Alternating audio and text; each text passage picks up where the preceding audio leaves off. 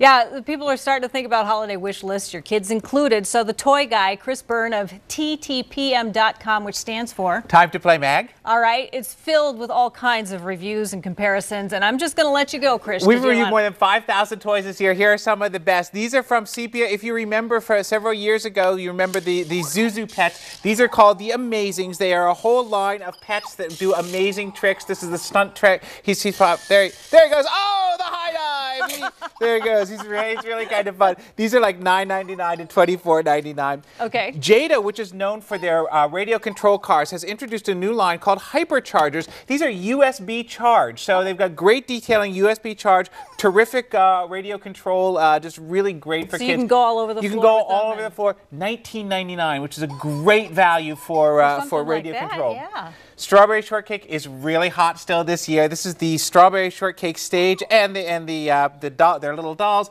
and we've also got the strawberry shortcake doll who, when you raise her arm, she's going to she's going to sing for you. So she's great, and it's just you know still got that strawberry scent, which is really fun. And again, a, a really hot return for a classic character uh, this year. These are from the Bridge Direct.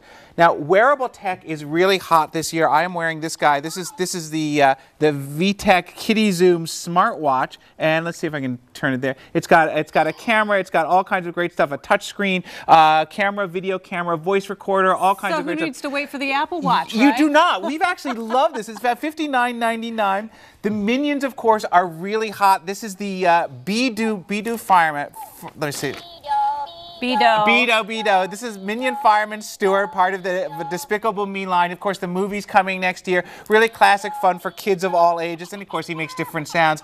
And finally, uh, this is awesome. It's from Zing. It's called the Firetek Bow. It's the first time they've done a bow that actually will light up, and the arrows light up. Oh wow! Yeah, this is really, and I'm not very good at this, but we're gonna try. we're gonna try and get this get this lined up because it's light up. It's great for out out in the dark and a little bit. There we go. I see Brian and Blake and having great fun with that. Boom! Oh and there we go. it went and all we, the way across. Yeah, the don't studio. try this in your at-home studio. Take this outdoors, but it's really. Do not good. aim it at anybody. This Brian is- Pyatt's down. Brian's down. this, this is this is exclusively at Walmart. I forgot to mention Strawberry Shortcake's only at Toys R Us. Exclusives are a big deal, so you got to Okay. check around and shop around. This is Chris Byrne, the tour guy, toy guy. We'll have these on the sunrise page of kare11.com after the show. Chris, as always, thank you. Thanks, Kim. Let's go find that arrow. Blake, did you find that? Brian's lying on the ground, so it's probably somewhere around him.